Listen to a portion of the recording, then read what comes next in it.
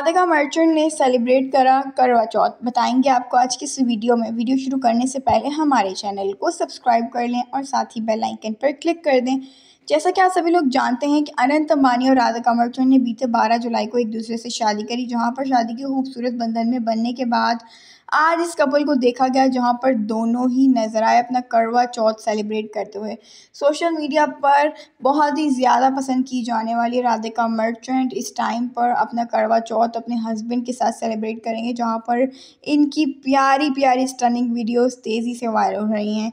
करवा चौथ के इस खूबसूरत मौके पर राधिका मर्चेंट को सरप्राइज़ भी दिया गया, जहाँ पर वो बहुत ही स्टनिंग लग रही थी और सरप्राइज़ में अनंत अंबानी ने बहुत ही खूबसूरत सा डायमंड का नेकलेस दिया, जहाँ पर इनको बहुत ही ज़्यादा पसंद किया। जी हाँ गाइज़ आपको बताते चले अनंत और राधिका फाइनली तौर पर अपना फ़र्स्ट बेबी भी एक्सपेक्ट कर रहे हैं और वो वो भी 2025 में आने वाला है इस दुनिया में। जैसे 2024 आनंद तो राधिका के लिए काफ़ी ज़्यादा लकी हुआ था, इसी तरीके से 2025 भी बहुत ही लकी साबित होने वाला है। अगर आपको वीडियो अच्छी लगे तो सब्सक्राइब करें टेक केयर बाय बाय